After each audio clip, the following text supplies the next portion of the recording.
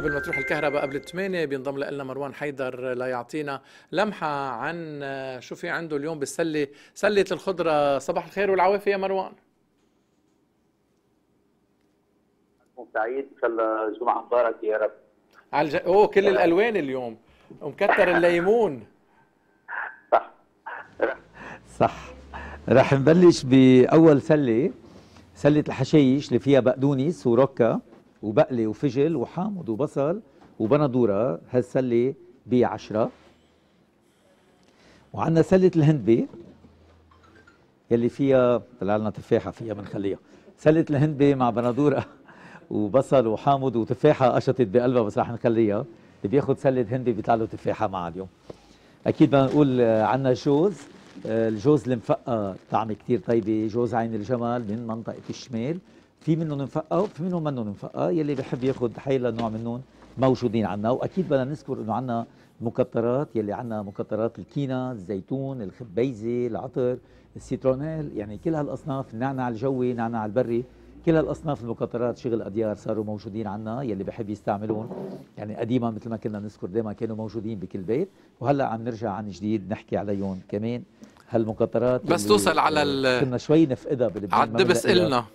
وين ما كان آه إيه تذكر بدنا واحد دبس بليز آه كمان في عنا الكرام هالسلة يلي الكيلو ب 10 هالنوعية القطف جديد وطعمه رائعة. عم نحكي عن الدبس لأنه بيعملوا منه يقسمه ضايقوا يا مروان. آه يقسمه ولا بقسمه لا اليقسمه مع الثلج اليقسمه مع الثلج يقسمه أوكي. مع ثلج بحطه معه شوية مي صح. هذا هو دبس الخروب اللي بيعملوا منه أنا أكيد كيف لكن كيف لكن كنا عن زياد صاحبنا المشترك فوق عملناها هذيك المرة. آه بيعملوه مع سكر ومزهر كمان وليمون حامض. ومع جرنادين مع كمان دبس الرمان بيعملوه. حلو. آه بيطلع كثير طيب أو شراب الورد. آه كل حسب ممكن بيعملوا منها ممكن نجيب لك شي طون ثلج وتصيروا تعملها عندك مثلا؟ كيف لكن أكيد. هلا بنقول له صديقنا زياد أبو جودي بفقره. خليه يبعث لنا شوي زياد. شيطون ثلج آه بدك مش أكثر رائعة إيه. عن جد عملنا ما بيلحقوا يوصل لهون بدوبوا نعملها فوق دغري نعمل حلقة من فوق عبده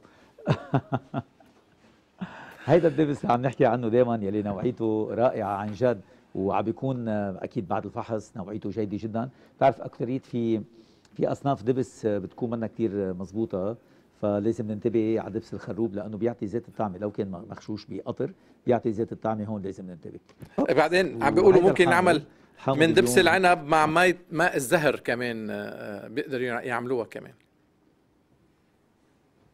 إيه معقول كثير ولا في كمان في أوقات كثير بمناطق الشمال بمناطق الشوف في عندهم دبس العنب بيسخنوها شوي تتسيل بعدين بحطوا معها مي مسقعة وبتشربها بتطلع كثير طيبة. فيهم كمان بيشربوها مع مي سخنة يعني بيسيلوها بشو مع مي سخنة. فبطريقتين بتنعمل.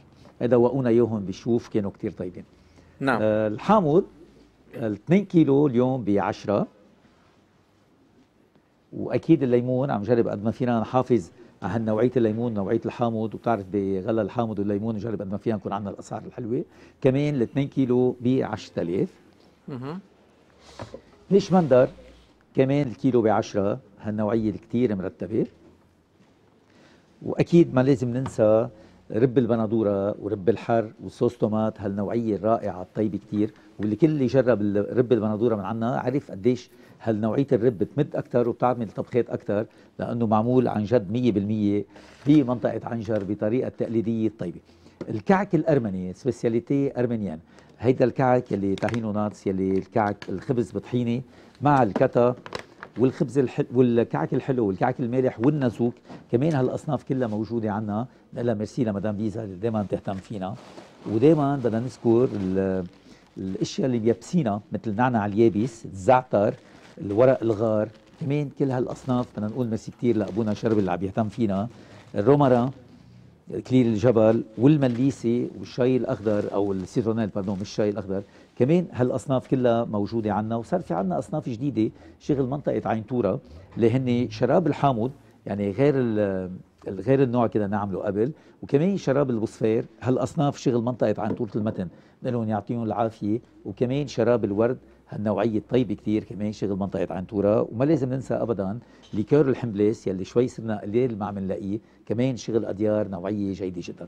أكيد كل هالأصناف موجودة. اللي بحب يشرفنا أهلا وسهلا فيه. فريق بيت الزي... بيت الزراعة من قلب ورب دائما موجود لحتى نعم. يخدم الجميع. وبنقول ميرسي للناس يلي عم بتجيب لنا كياسه وكمان عم توفر على البيئة وعلينا. أنا هيدا كل شيء عندي إياه عبدو ما رح طول كثير لحتى ما تنقطع الكهرباء ونطلع على العتم. فبنقول لكم نهاركم سعيد وميرسي كثير. نهارك أسعد يا مروان وشكرا لك. يلا جايين لندوق الدبس مع الثلج